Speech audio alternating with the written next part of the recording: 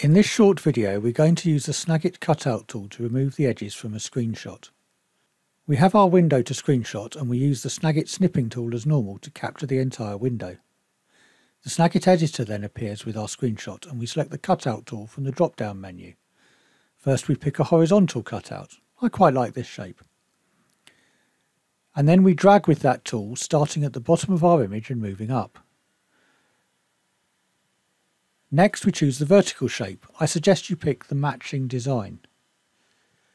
And then we start at the side of the image and drag inwards. Now our screenshot is nicely trimmed and ready for our documentation. The cutouts imply that there is more content but not relevant to this context.